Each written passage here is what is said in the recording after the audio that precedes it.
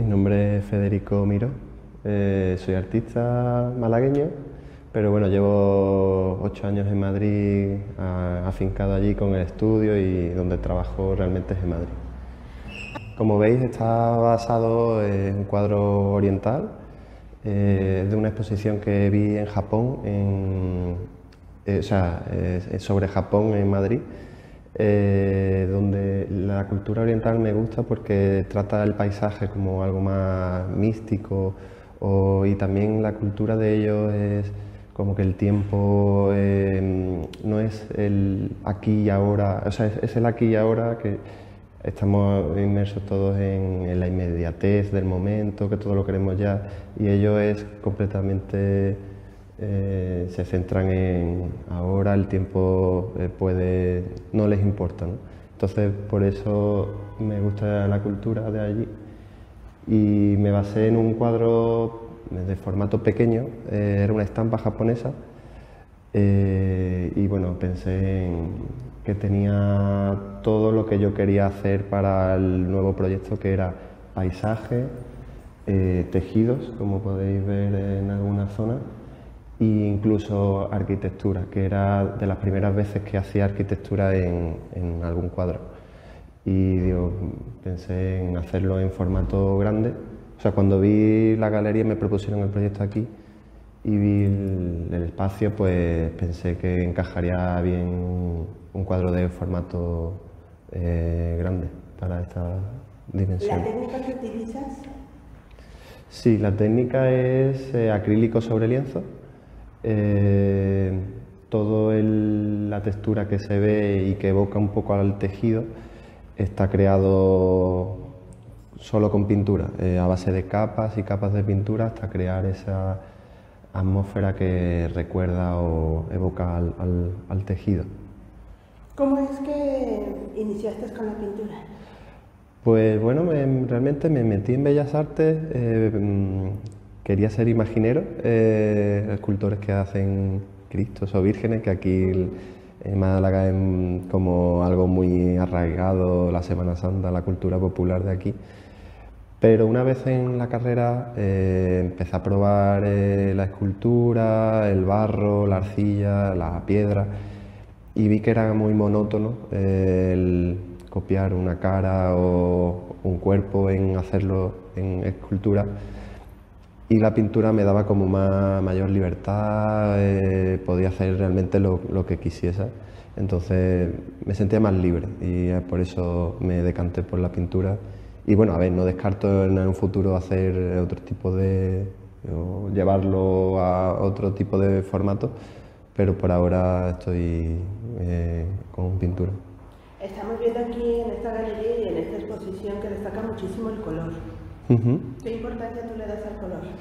Pues bueno, eh, realmente es como de mis exposiciones más coloridas, pero he estado también anteriormente eran más monocromáticos, bueno, en la sala de abajo si la habéis comprobado, eran eh, cuadros más monocromáticos o el color se reducía un poco a fondo y figura pero en esta como que me he lanzado más al color para también experimentar y probar cosas nuevas para, este proyecto.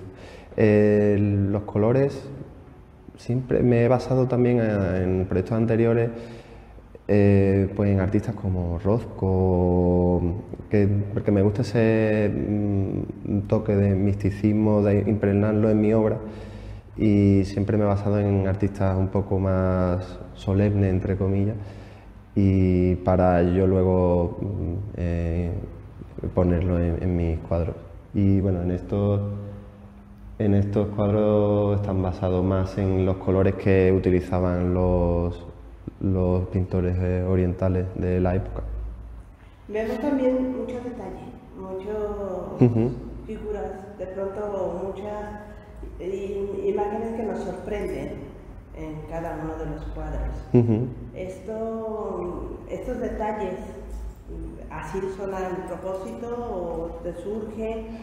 Pues bueno, eh, yo realmente preparo los bocetos, eh, voy recopilando imágenes, eh, con fotografía y ya luego en el ordenador pues voy creando el boceto, una especie de collage eh, con Photoshop, pues retocando, eh, cogiendo partes de una foto, de otra, hasta componer la imagen que creo que, es adecuada y me interesa realizar. Y ya luego en pintura, pues a veces forman accidentes que al final pues me gusta. Al final no es, no es solamente copiar la foto que, que, has hecho, al final salen o van surgiendo problemas que hay que solucionar en el momento que vas trabajando y al final eso es lo bonito, un poco la experimentación con el material y, y, eso. Ya hay veces que pues los detalles, mm, mi obra casi siempre está muy cargada de detalles, eh, todo eh, el lienzo completo. Eh, es una lucha que tengo ahí por abstraer, por simplificar, pero al final eh, siempre sale un poco todo muy recargado, pero bueno, no sé, creo que es un poco parte de, de mí. ¿Qué proyectos tienes para este año que inicia? Pues este año eh, ahora viene la Feria Arco, que continuaré un poco con la línea de esta exposición. llevaré algunas piezas para la feria y luego eh, me han concedido una residencia artística en México, en Ciudad de México, en la Galería Proyecto H. Y estaré allí tres meses eh, realizando un proyecto que me interesa, pues sobre todo la idea de estar en México es pasarme o profundizar sobre los tejidos, las tradiciones populares que allí tenéis. Y porque mi obra al final es un poco mirar al pasado, eh, las tradiciones populares, eh, el origen de mi obra es eh, al final la Semana Santa en Málaga, como los bordados o el terciopelo y un poco también inspirarme en, México o llevar a cabo pues, mm, mi visión como europeo o, ver allí cómo trabajáis o la artesanía de allí me parece interesante. Eh, comentas ahorita de los tejidos.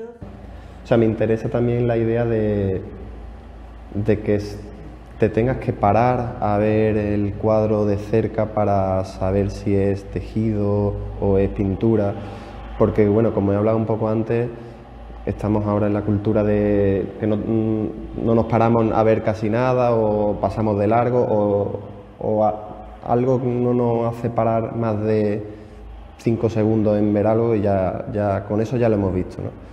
Entonces también otra idea es forzar entre comillas a la gente de pararte a intentar comprender qué, hay detrás de todo ello con ese engaño. Eh, de que parece tejido, pero es, es pintura.